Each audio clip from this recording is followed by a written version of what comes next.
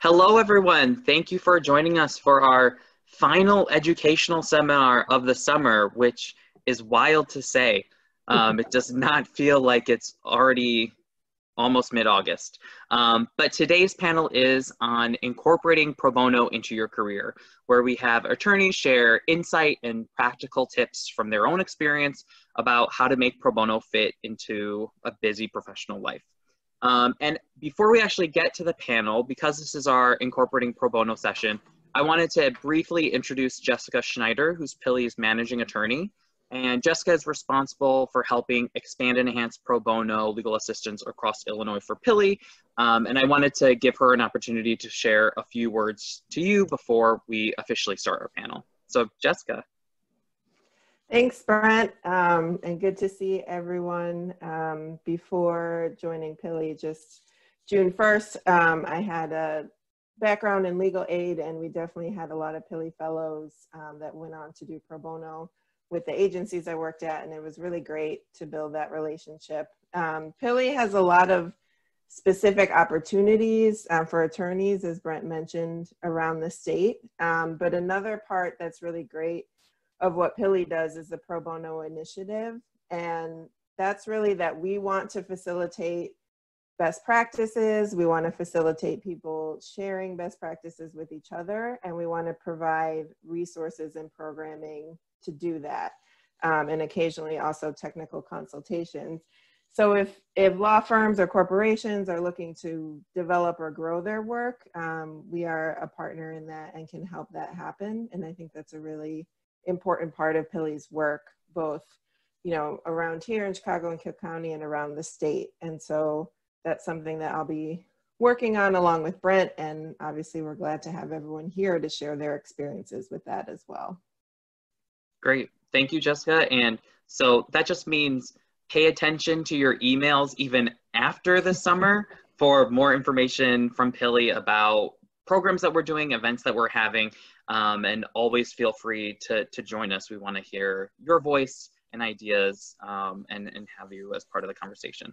Um, so I'll pass it off to Sara Ghadiri, who is Associate and Pro Bono Counsel at Chapman and Cutler, and she'll be helping to moderate today's session. So thank you.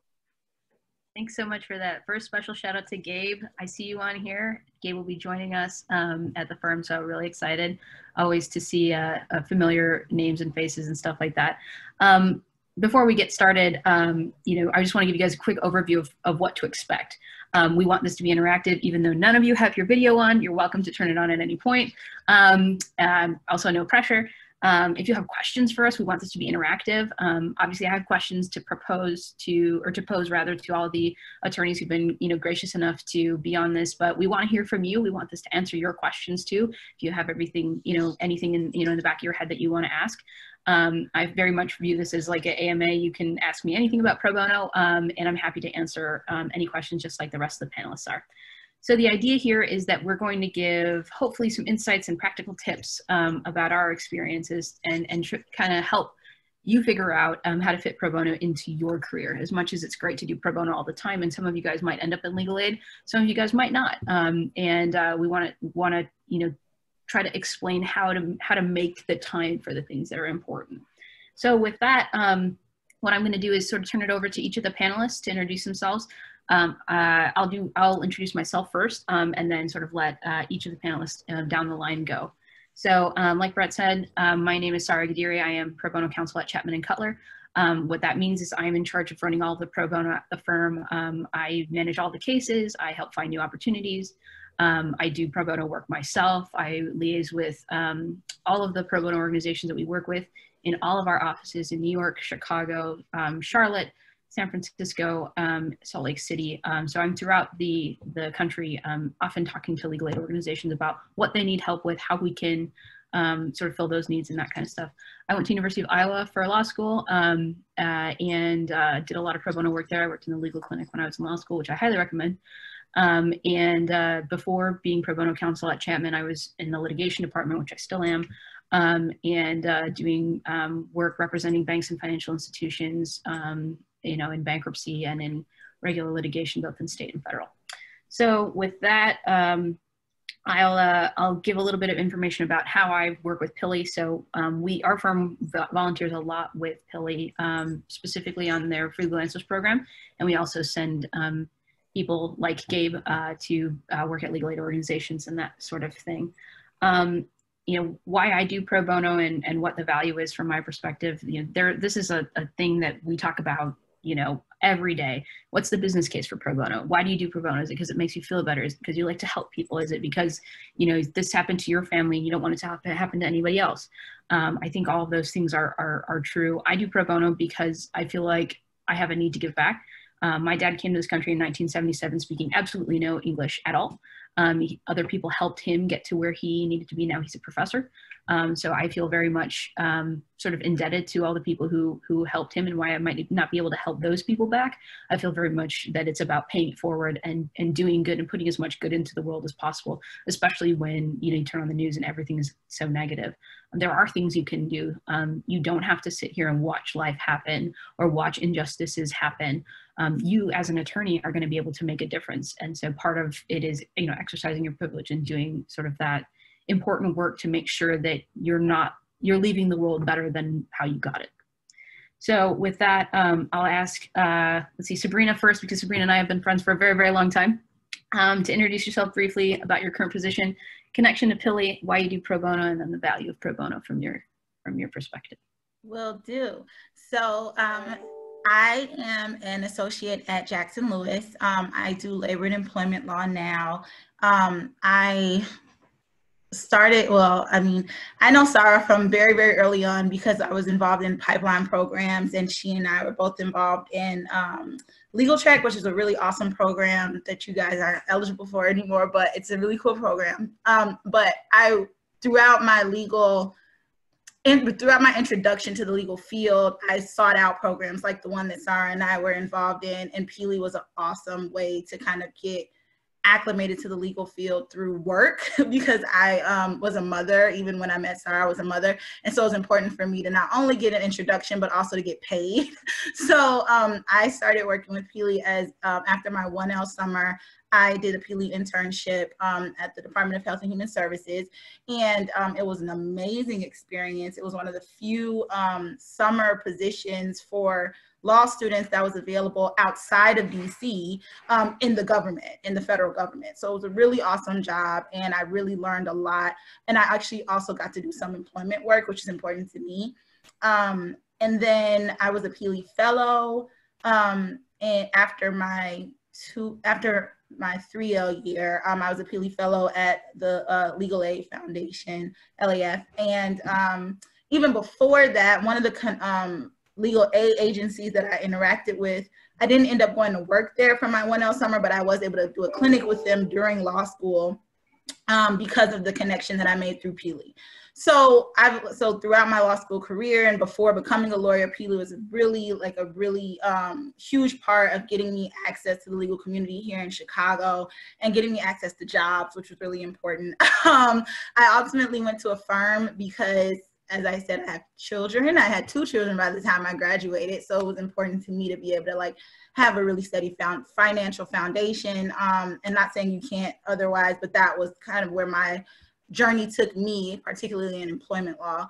And um, so I've been I've bounced around from um, in, from different firms. I was at Winston and Strawn, um, DLA, and now I'm at Jackson Lewis unfortunately, because firm life was crazy, my connections with Pili um, were kind of at the, uh, I was always at the luncheons, I was always a supporter, but I was not actively engaged in Pili um, early in my legal career, but um, I was fortunate to be sought out for the um, Young Professionals Board. I was the uh, chair of the uh, Young Professionals Board last, or I guess two years ago, now that Steve stepped down, um, or now that Steve's passed on the baton.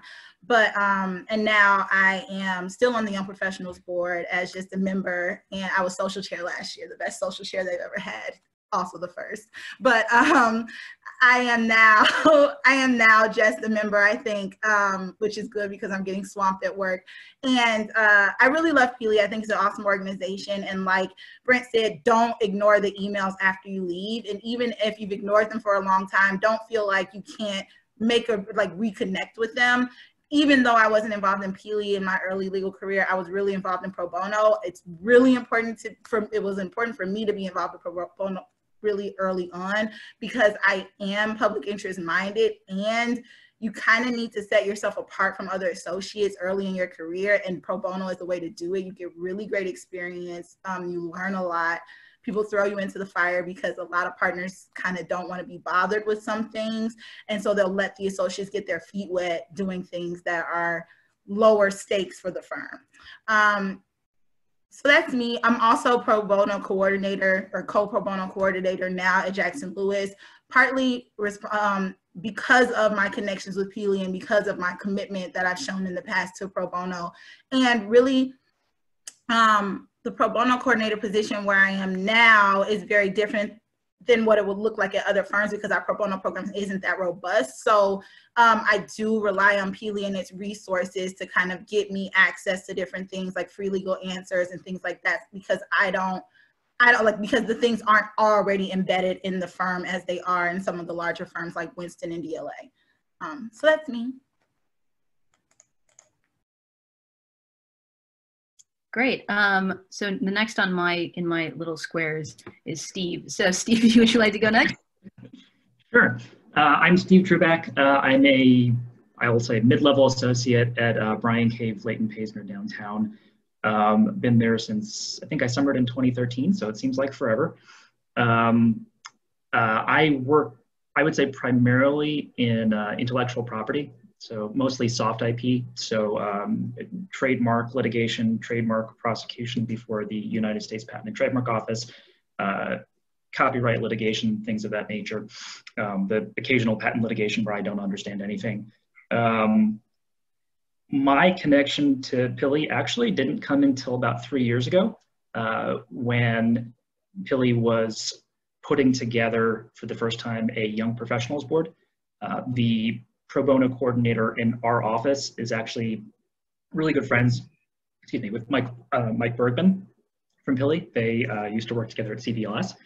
Uh, and so I was introduced to uh, Michael and Sang um, and was fortunate enough to, to, to join the inaugural um, Young Professionals Board uh, in late 2017 uh, and am just wrapping up my very interesting year, just given what's going on in the world, um, as, as chair of the Young Professionals Board. Um, I, I would say that for, for me, I do, um, I do pro bono work for several reasons. Um, first of all, I enjoy it. I, I try to take on pro bono work in areas that I'm interested in or, or areas where it's it's a cause that I'm actually uh, very passionate about or interested in. Um, it's it's you know one thing to um, no disrespect to banks, but it's no it's one thing to to you know be looking at a screen and, and representing corporations um, all day.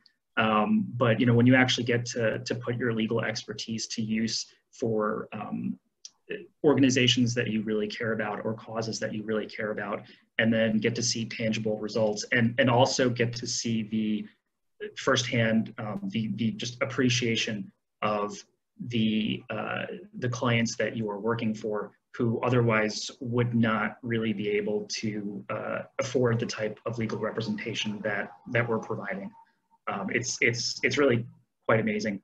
Um, so that's I mean that that sort of in a nutshell is um, is why I do pro bono. Um, and yeah. Great, thanks, Steve. Last but not least. Go ahead, Neha. Hi, good morning, or I guess good afternoon. Uh, my name is Neha Tannan. I'm an associate attorney at Ford and Britton, which is a small, uh, very small uh, boutique litigation firm. We do primarily uh, insurance defense litigation. I primarily practice in construction cases, meaning I represent smaller subcontractors and the occasional general contractor on a project after an accident occurs. Um, I worked at a mid-sized law firm prior to my current position where um, there wasn't really a pro bono coordinator at both of my jobs, which I think is in vast contrast to um, the other two panelists. But um, I've always found a, a, way in which to get uh, a way in which to have my bosses or superiors understand the value of pro bono for me and the reasons why I do it. Um, I have been to a lot of the Pili fundraisers and like the trivia nights and stuff um, because of Brent. Um, he's a, a, friend of a friend and now one of my friends. So um, I really appreciate the work that they do. I think it's very valuable. I actually primarily volunteer and do pro bono work at a CVLS clinic, which is Chicago Volunteer Legal Services Clinic, um, one Saturday a month on Devon Street, which is uh, what you could informally call Little India and Little Pakistan. Um, and so we see a lot of clients there and from all sorts of things, divorce cases, custody cases, immigration issues, social security benefits. Um, I actually took on a pro bono case myself on a custody case of two kids with a single mom uh, recently. I'm still in, involved in that. I thought it would be quick, but it is not quick. That's okay. Um, I'm learning a lot, especially because it's not my area of expertise. So one of the big reasons that I, and I think value of pro bono is you get to practice in areas in which you never practiced before. I've never touched a divorce case. I've never touched a custody case before. Um, but at, at, a certain point, you kind of have to just dip your feet in and see where it goes. And um, I think that that's a really valuable experience. I think also with the clinic, um, I really learned the, the essential need of access to justice in a lot of people. I think the language barrier is very large, especially in Chicago, where there's a lot of languages spoken, Polish, Spanish, um, Hindi for Indian people, or Urdu for uh, Pakistani people.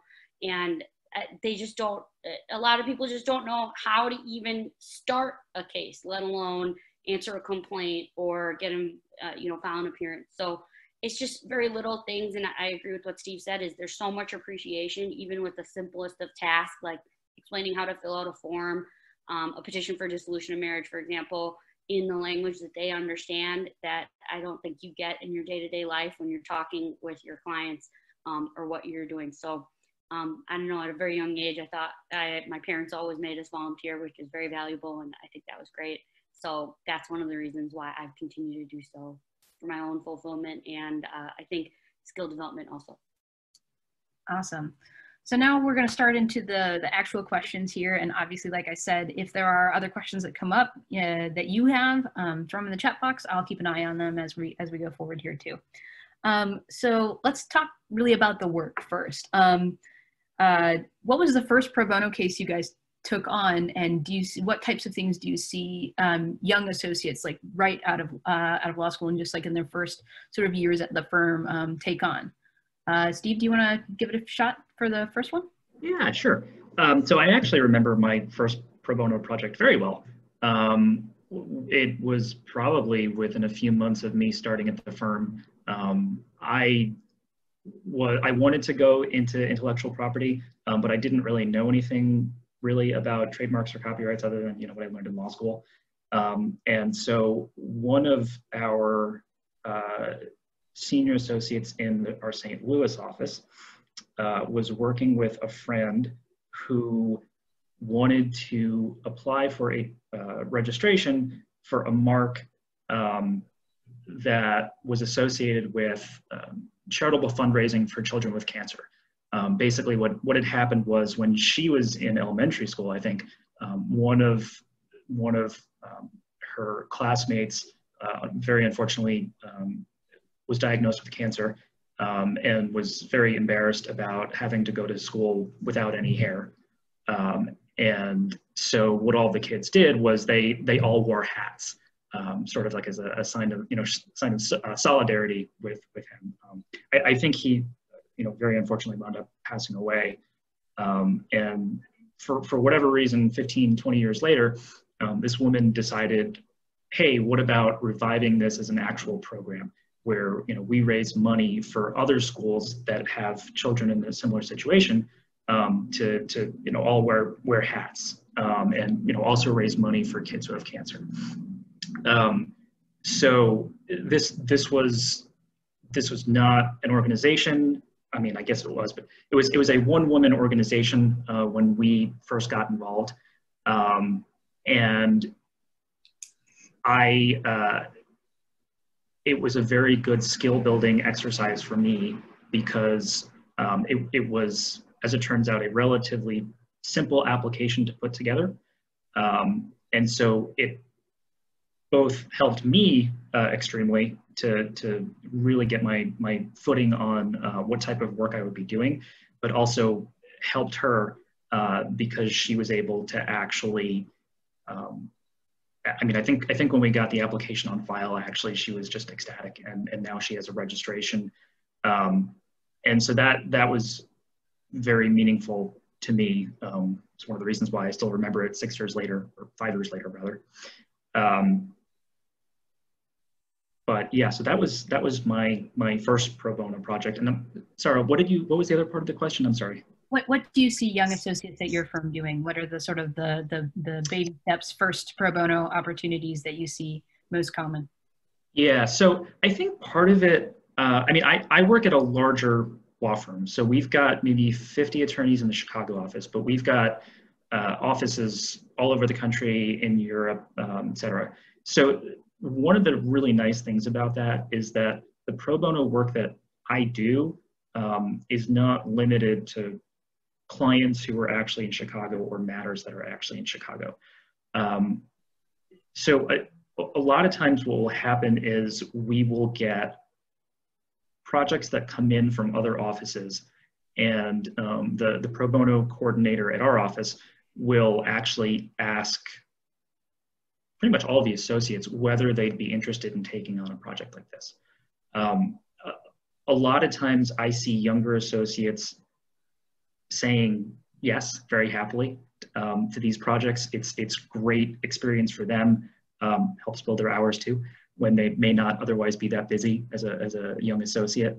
Um, they get to you know, th this is this is not generally a situation where a partner comes into you and says, "Hey, you're working on this matter," and you're like, "Oh, cool," um, but you actually get to have some say in in what type of pro bono, uh, pro bono matters you would like to do. Um, for for me, I think as a young associate, I I started out doing a lot of trademark pro bono matters, but that's that's really just because that was the area that I was interested in. Um, and again, it didn't matter where any of the clients were. I, I could draft a trademark application for someone who was in California or you know Canada, didn't matter. Um, we actually have uh, a number of pro bono clients that will occasionally ask us to do work for them, and that's that I think um,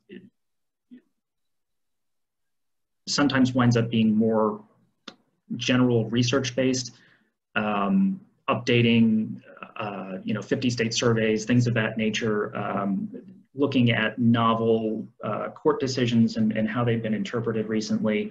Um, and so I, I generally see younger associates taking on projects like that.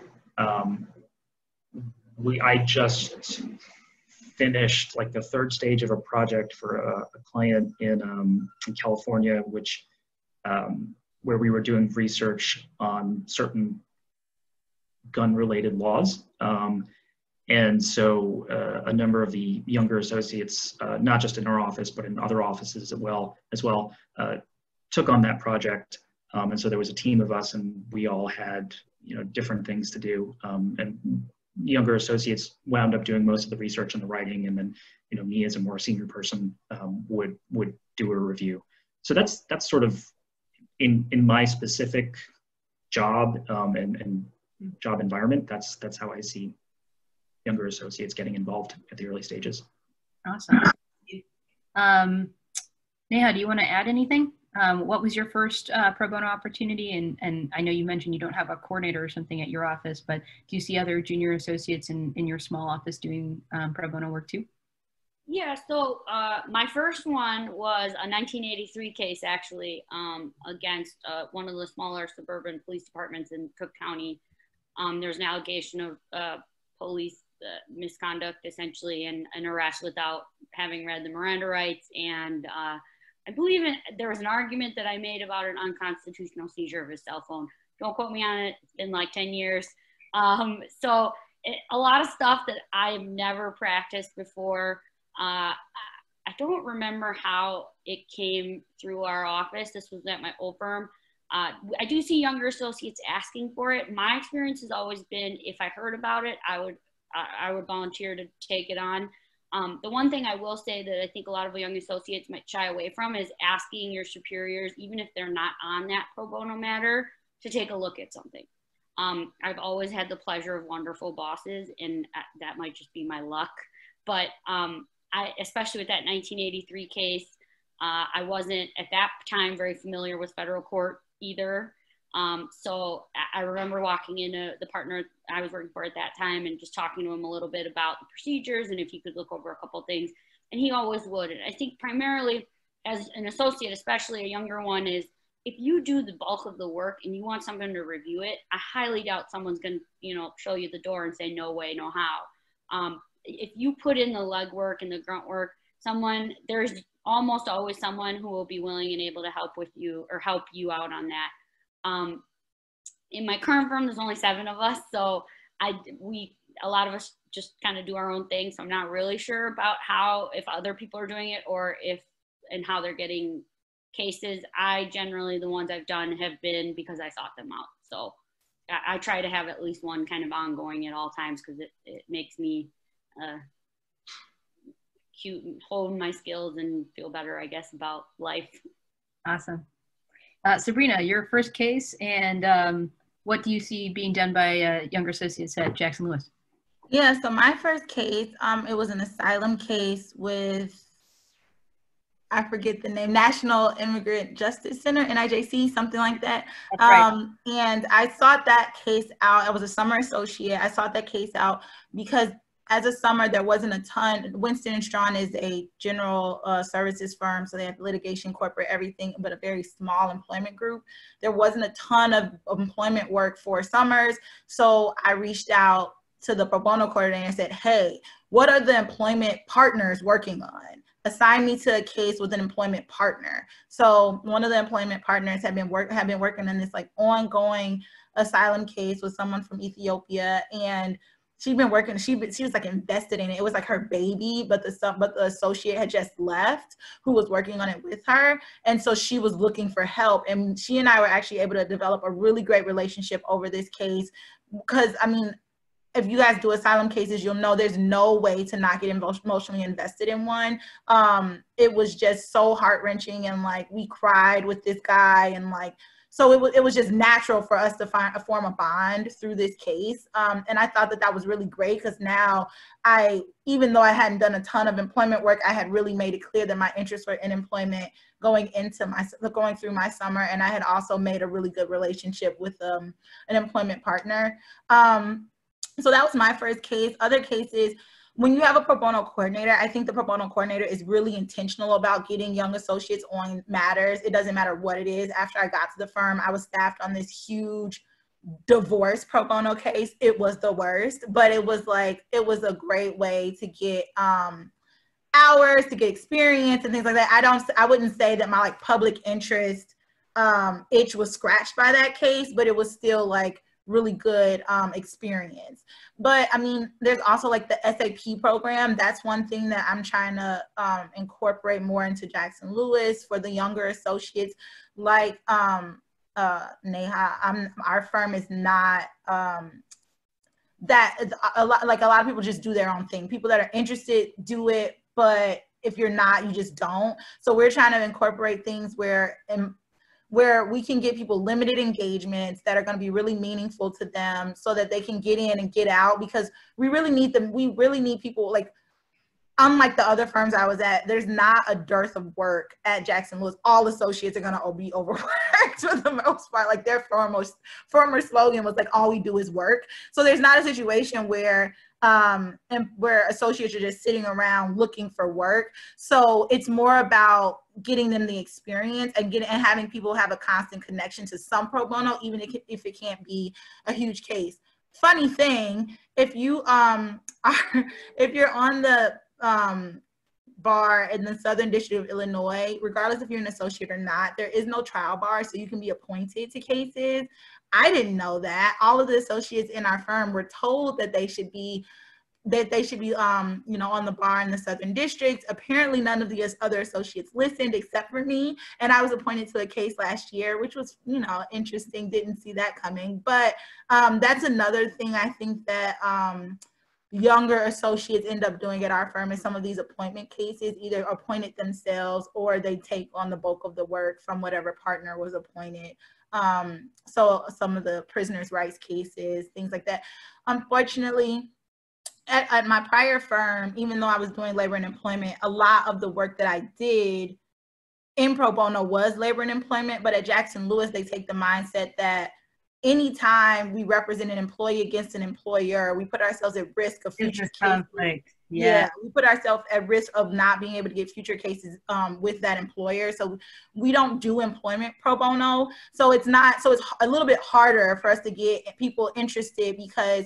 really you're just honing in on a skill set and not a substantive area. Um, but like so like i said we're really focused on like kind of those limited engagements where people can get in get in get really good experience that is going to be easily translatable to the work that they do and then get out. And that um, appointment case that i was in i actually um, i was I, I actually got to examine my first witnesses and um, in an evidentiary hearing. I got to you know prepare motions for summary judgment from you know and i mean i had done motions for summary judgment before but the hearing stuff is like important especially if you want to be on the trial bar because you need to you know check those boxes. Um, and so i got i got really great experience doing that even though it was not it, it's not even a pro bono thing that i would personally have picked but it was really interesting. The guy that i have that i represent he needs representation. I, I mean there's a whole slew of other issues, but he needs representation and he has a good case. He was wrong. So I feel good about it, but it, and I got good work out of it. So the, I think we're trying to push things like that where people can get in, get really good experience that they can market to the partners as, okay, now I've done this, market to the clients to say, because now that I'm about to possibly go to trial this year, I can say, oh, I've done, you know, these four evidentiary hearings and one of them was this pro bono case. Awesome. Yeah, so um, what I see a lot of our newer associates doing and what I really pitch to our newer associates, you know, as pro bono counsel is like what Sabreena was saying is limited engagement things. So a lot of clinics. Um, one of the things that you guys might have seen, um, and maybe not because of coronavirus, there's not as many clinics going on as there used to be, um, but they're limited scope. You essentially, you know, take, you know, your afternoon and do a DACA petition for somebody or, um, you know, sit down and do an expungement uh, or sealing petition or whatever happens to be. Um, so those like, you know, pop in, pop out are really, really nice opportunities. And they're also really good for getting people's feet wet. Um, and, and another opportunity I feel is really good for getting people's feet wet is free legal, answers. So I monitor all of our first years because we don't have that many, so I can keep an eye on all of them. They all have to send me their responses first so I can check them and make sure they're not getting giving bad advice to people. Um, but it's a really good way to build substantive experience. Um, and so what I what I tend to think about is okay, well if you don't know what you want to do, you know, go into free answers. There's topics all over the place. You can answer a question about divorce, and then you can turn around and ans- answer a question about unemployment, or turn around and answer a question about immigration, or whatever it happens to be.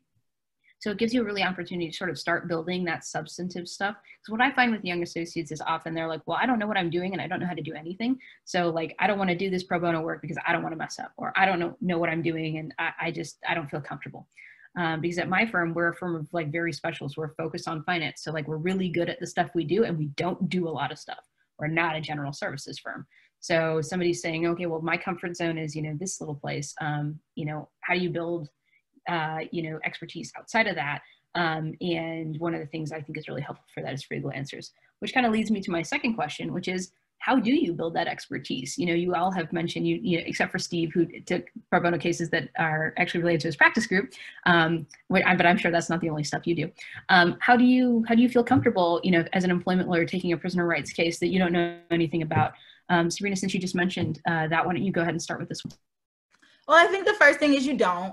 Um, I like I never. I don't think I ever walk in and and feel comfortable necessarily. And I think that that's because I care and I think that that's okay. Like, I, and because I don't feel comfortable, I just research, research, research. I'm probably like overly like, um, I'm, I'm overboard on the research. Um, I, there is when you get appointed to prisoners' rights cases in Illinois, and I think it's regardless if you're in the Southern Central or Northern District, there's this guy, John Chapman, who's just like amazing and like he helps everybody and he knows everything. And I bug him. I'm always on the phone with him. And I don't care if he's sick of it because he's just going to have to deal because my client needs him to be there for me. And that's his job. Yeah, that's his job. And, and he's good at it and he's really helpful. He's never like been annoyed with me or anything, but if he is, oh well.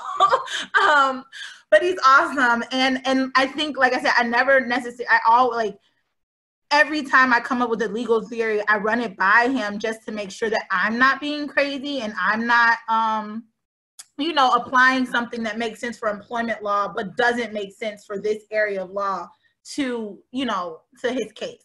Um, and so with, with that, like I said, there's John Chapman. And then um, with some of the other pro bono I do, like when we do free, free legal answers, I know when I work with Brent, like I always ask him questions when we were in the clinics together. Like I have no problem saying, I don't get this. Please tell me if this makes sense.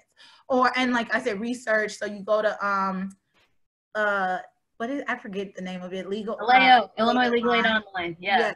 so um, we go to that and we research on there. And then with other things um, like I said it's just been research. Like even after I asked John a question I'll still go on LexisNexis and do some research just to make sure that other things that I'm seeing are in you know are the same as what I see. So I think there's just like when you walk into the situation there's just a little bit more you know work you have to do beforehand that's one of the great things about doing pro bono through agencies because they have the subject matter experts in there. So when we were doing the asylum case, you know, both of us would cry and then we would walk out and be like, we can't help him. He needs more than us. We are not worthy. And then they would like, you know, give us a pep talk and put us in the right place to like get the resources that we needed for him and um, help him appropriately. So I think you just I think the first step is admitting that you don't have all the answers, admitting that the things that make sense for you and your clients in your area of expertise may not make sense for these pro bono clients. And then once you realize that and care enough, you'll do the right amount of research and eventually like with the law, there's never like a true ending point. We have to figure that out for ourselves and balance our work appropriately. But if you care enough, you can be confident that you're at least making the best decision and, like you know and doing enough to get to that best decision. I saw a lot of head nodding from you neha. Oh 100% i i never feel comfortable. I don't think i ever will. Um those divorce cases uh the social security uh, whatever else we see immigration. Um, one of the biggest things that i don't think people really think about and sabreena kind of touched on it was uh, utilize your network. You don't realize how many different lawyers you know just from my law school group class, my friends, I, you know, like I know someone who does real estate. I know someone who does immigration. Just shoot them an email, shoot them a text, go on LinkedIn, ask them a question. You would be so surprised at how quickly and how helpful these people will be because you're asking them one particular question on a certain subject matter. Um, the, the custody case, for example, I know a lot of people um, that do family law, for example. And, you know, even a question like, oh, I got assigned this judge. Is there anything I should know? I got a response in five minutes, you know? So your network is there to help you and they will help you for sure. I use Illinois Legal Aid Online way too much, I think, probably. I, that thing is like my lifeline. It's amazing. The other thing that really helps are like a lot of the courts now, like I think IllinoisCourts.gov even, they have fillable forms on everything. Um, like the fee waivers that a lot of times we do for our clients when they're filing an action, those are online and they're pretty simple. They ask every single question that you need to ask these your pro bono client, like about their assets and whatever else. So uh, if exactly what you said, if you have the desire and you don't feel comfortable, you'll make a way, you'll find a way, you'll do the research, you'll find something. You can Google it, you can use Westlaw, you can use Illinois Legal Online, you can call Brent, you know, like anyone, anyone you know will be willing to help you. And don't be ashamed to ask for help. As soon as you say, Hey, I got a quick question, I really, I've never in my career, which of course has been short so far, you know, a couple years here um, since 2012, no one's ever showed me the door. No one's ever never said, I can't help you. You might get a, I'm not really sure. And at that point, you do more research, and that's fine but at least you have some starting out point where someone will be like, hey, maybe look into this. Um, so the network's really important, and obviously all the online resources are really, really, uh, really, really helpful. And then one last thing I'll say is Um, I, not always will the judges be aware that you're a pro bono attorney. Sometimes they will, I think, based on your signature block on like pleadings or whatever. Um, there was that 1983 case, for example, the judge became aware that I was a pro bono attorney. She might have just seen, you know, deer in the headlights face, probably that. Um, and they they understand that you are actually taking time out of your life and practice to do this. Um, and I think that they, I'm not saying they will, but they might, you know, cut you a little slack on some things. I remember when I was first getting that that file in the case, I was having a little trouble contacting my client. I just told the judge. She said, "Okay, I'll give you an extra 14 days. Don't worry about it." So um, just it, there's a lot of ways in which you can get um, help with these pro bono cases in various different avenues and i think it's just yours to explore really. I have admitted in every single pro bono case where i didn't know what i was doing to the judge. I was like look i don't know what i'm doing I have said literally those words to the judge, like, I don't exactly know what I'm doing. I, you know, I'm doing this case pro bono. If you have any tips or hints or anything like that for me. And I have every judge that I have been in front of says, thank you for your service. You know, here's how I like to do things. And has just, you know, I think it's always good to just admit and say, like, don't, don't BS a judge. They can tell. Um, so I think it's a really, really good point, Neha. Steve, anything to add? Yeah, um, so I also had uh, a 1983 case as, as one of my first cases. Um, that one, uh, I didn't really actually realize that I was going to be working on it. Um, we got an email from the partner who had been uh, appointed asking if anyone had, you know, five or so hours to do some initial research on this matter. I said, yeah, sure. Um, and that sort of turned into me just taking over the entire case, which was cool, but you know, I, I just didn't realize that going in, so it was a little scary. Um, and I I had remembered that when I was actually a paralegal at my old law firm a bazillion years ago, um, one of the two partners at that firm has had also been appointed to a 1983 case, and I had helped out on that. And I remembered that there was uh, I think I, I, don't know the exact name, but it was it was like a, a handbook that is on the Northern District of Illinois website, um, specifically devoted to 1983 cases.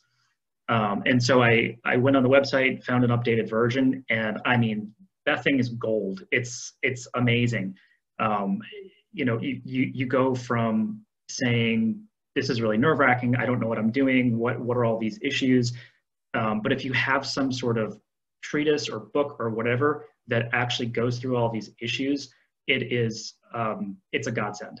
Um, and I, you know, I went from having absolutely no idea how to uh, respond to this motion to dismiss that the, the defendants had filed to saying, wait a second, according to this, there's like a Seventh Circuit case that came out, you know, last year that says that um, this issue isn't jurisdictional. You know, it's an affirmative defense, so they can't move to dismiss it based on lack of jurisdiction. Um, and so we we wound up winning that motion. Um, so, I, you know, I I think I would just also reiterate again what Neha and Sabreena said: utilize your network. Um, even if, you know, for, for this particular matter, I was working with a partner on it, um, I don't think I actually really talked to him that much about the case. Uh, I, I, talked to a bunch of other attorneys um, in my office as well as outside my office that either themselves had worked on 1983 cases before or uh, had more experience in, in a, a, specific area. Maybe it was discovery responses with like certain objections I just used everybody as a sounding board. Um, asked how their cases had gone, what issues they had uh, run into, what what strategies seemed to work, what didn't. Um, you know, if if I was drafting something and um, I wasn't exactly sure, you know, maybe there's like an issue I was missing or something that I wasn't thinking of, I asked uh, a colleague um, if they wouldn't mind looking it over. 99% of the time, more than happy to to do that.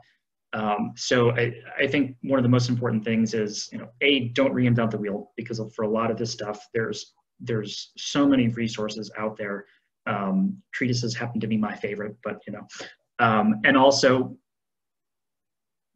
always, always, always reach out to other people and other attorneys and and get their thoughts. Um, I mean, that's that's really just a, a general uh, tip, I think, for practicing it as an attorney, but but also definitely in pro bono, maybe when you're not as when you're working outside of your general practice area uh, and, and you want to get some additional advice from some other people. That's great. Yeah, you're never alone when you're doing a pro bono case, whether that's you know you're reaching out to somebody else in your firm, outside of your firm, at the legal aid agency that you're working with.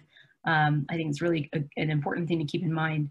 Um, always ask for help. Everybody wants to help. That's the great thing about the pro bono community is every single person wants um, wants you to be successful and wants to help you, whether that's another attorney or or you know anybody else who's ever worked on the case. Um, we've got about 15 minutes, a little short of shy of 15 minutes here. Um, so I want to pose one last question and then give give some time for questions as well. Um, you know, we've we've given a little bit of advice here and there in our other answers. Um, but what would you have wanted to hear as a starting associate about incorporating pro bono into your career? Um, and Neha, since we haven't started with you yet, go ahead. Um, I, so my uh, experience is different than Steve and Sabreena's because I don't work at a larger firm. But um, as a young associate, I think like what you said, those smaller clinics um, or smaller engagements are really, really valuable. Um, I started going to the South Asian American Bar Association clinic on Devon uh, as a law student actually. And at that point, because we weren't, we weren't licensed, we would just do the intake forms and then we'd sit through the, the whole uh, matter with an attorney and see what advice they got. So um, it, it, you're a young lawyer. You don't primarily, you're, you might not be as good at issue spotting or anything like that. You don't know what forms to use, that kind of stuff. That was really invaluable. You actually get to sit and watch and observe. Even if you're a young lawyer, you could do that. If you don't feel comfortable, just tell them you don't feel comfortable. They're always going to listen, I promise.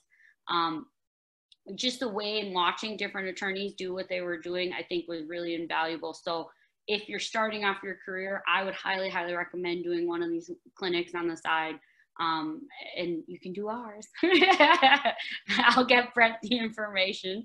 If any of you want to join ours, we are doing ours by Zoom, which is pretty cool. We transitioned to Zoom. Um, so that's really great. We just had ours last Saturday. But um, yeah, it's really on your shoulders. I don't think anyone's ever really going to hand you pro bono work. I, unlike um, Steve, I know for sure, maybe Sabreena, we don't get credit for our pro bono hours. It's just you do what you want to do on the side. Make sure you still do your own hours.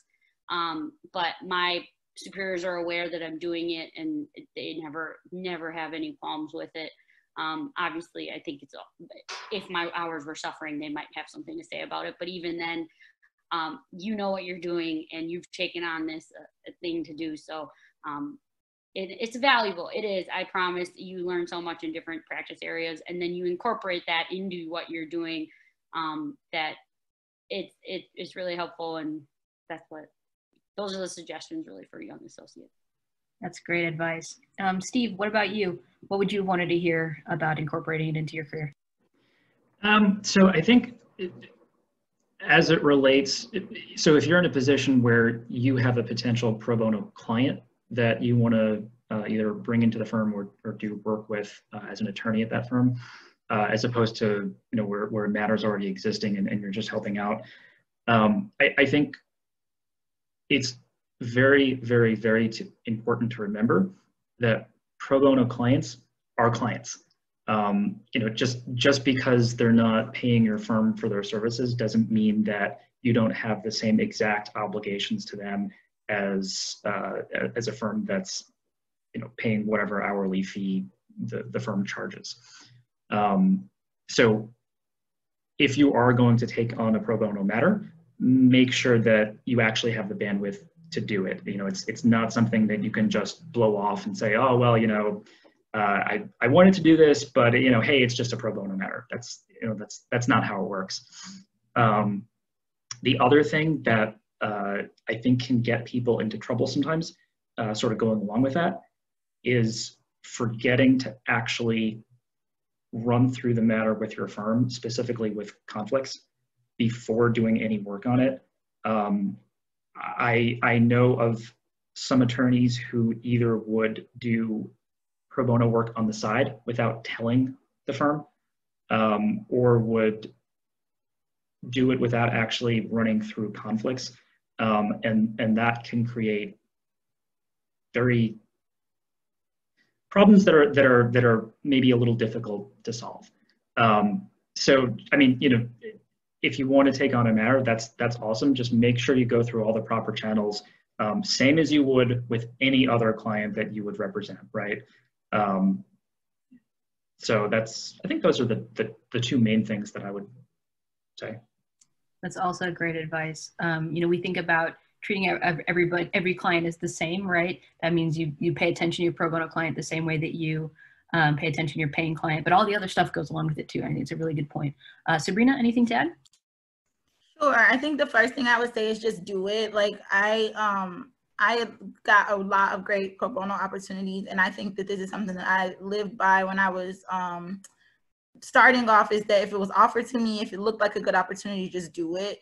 Um, and like, and if I had time, obviously, like Steve said, don't accept anything if you don't have time. And then, and, and I often was like overworked because I was squeezing in time to do certain things. But I always, like every single pro bono experience that I took, I got really great experience from. So regardless if it was something as minor as reviewing a handbook for a nonprofit agency or something as major as the divorce case that I took and had to take depositions on. Like, regardless of where I was and what I was doing, I learned something from every single case between from you know actual substantive skills to client relations to all like all across the board um, and i would agree with steve that you absolutely should treat them like clients and that's kind of my second piece that maintain your relationships like maybe not necessarily with every individual client because that's a little weird but if you're working with an agency or if you're working with a company or working with a nonprofit and you reviewed their handbook 10 years ago treat them like you would any other client. If you would send any other client a bulletin about some new thing that happened with covid send it to them too. If you were gonna you know um, if you're gonna reach out to clients and send them a card send them one too. Treat your um, your agency clients or corporate or I don't know, like nonprofits or whatever, like you would any other client that you work with, maintain those relationships, maintain them as part of your network. I did not do that. I treated each and every pro bono activity like I treated my client act like my other activities. This is someone else's client. This is someone else's. Once I do, once I'm done with my project, that's not my problem, kind of a thing.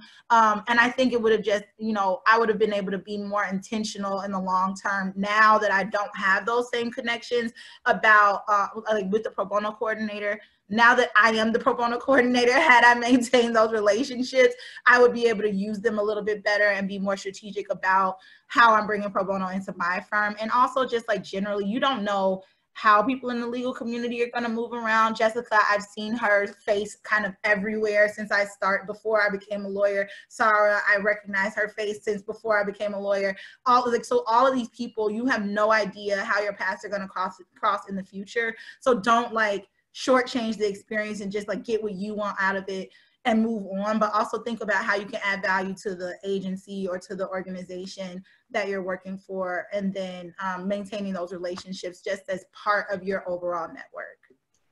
I think that's great advice too. Um, I'll, I'll add my last piece here, um, and then we'll open it up for for questions we got about five minutes left.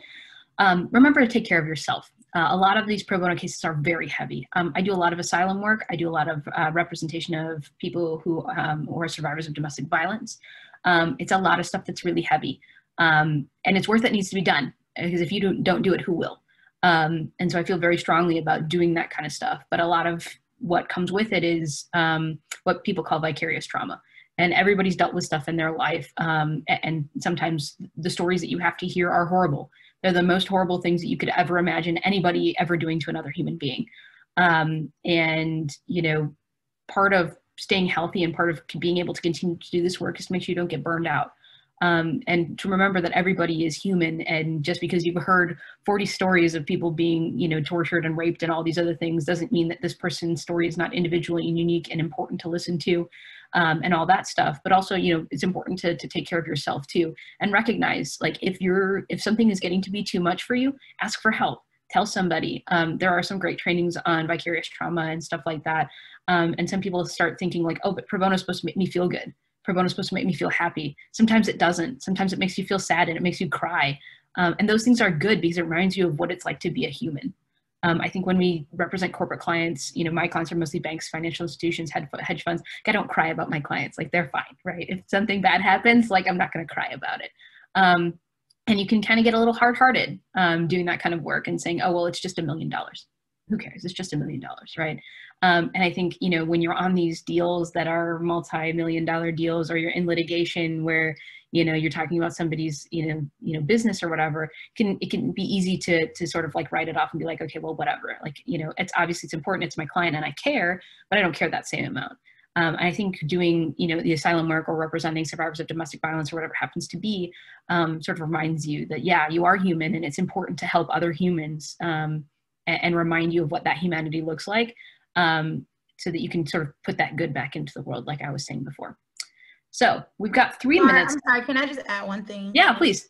Um, also, just kind of along those lines, people that don't necessarily look like the perfect pro bono client need help too. So like part of what I was saying about um like my prisoner case, it's not the case that I would have taken. He's a murderer. And like I have to like accept that and be okay with that every day. And and like every day I help him, I have to be okay with that. But I don't have to accept what he did. I just have to accept that despite the fact that he's a murderer, he deserves to be treated like a human while he's in prison.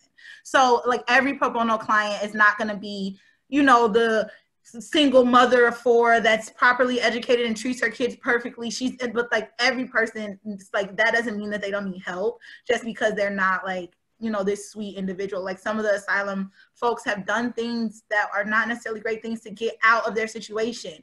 And like you know there's there are things that you're to hear but you have to like reconcile that with the with the fact that like the people that don't necessarily that aren't wanting to be your first guest for who you'd help still need help and they still are entitled to their rights under the law. Right. You're not here to judge your clients. You're here to help them. I think it's a really really good point. Um, so i got one question here in the box. Um, this might be best for neha. Um, how have you been able to continue completing meaningful impactful work at your firm if um, there aren't if you don't get credit for doing the the pro bono work or there's not a lot of other associates who are doing it? You kind of touched on it before but. Yeah so i i do a lot of the stuff on the weekends which is helpful. I do have that one case that's going on right now um, essentially what i end up doing and i don't know if this is more of a timing question or uh, or how do you get credit for it question but timing wise i tend to do it over my lunch i don't really take that much of a lunch break i eat lunch and then i do what i need to do i'll check on the pro bono case um, it's not usually a daily thing that needs to be updated. Like we're doing discovery right now. So once I answer discovery, I'm waiting for them to answer discovery. Um, so it, it, it's just you fit it into your schedule. As far as credit, I I mean I never really sought it from my firm either, so that might be on me. Um, but they know that I volunteer at this clinic and they're aware of it. I I've never actually had the conflicts problem. But with construction companies, I don't think there probably would be one. Not really sure. Um, so I, I, never actually thought about it until Steve said it. So I should probably pay a little bit more attention to that. Um, but I know there is a billing code at our firm that we could use. I could potentially use for my pro bono time. I've just never done it because I don't think that my bosses would particularly care if I entered my time in their system. Um, it's my time ultimately, and as long as I'm billing on the, their client matters, that's all they really care about. Great. Well, we are out of time. Um, I know I say this on my behalf, but I'm quite sure that all the panelists feel the same. If you have other questions, things that we didn't get to, we were only here for an hour, and I know that incorporating pro bono into the rest of your career is a lifetime thing. Um, I invite you, please send me an email, um, uh, give me a call.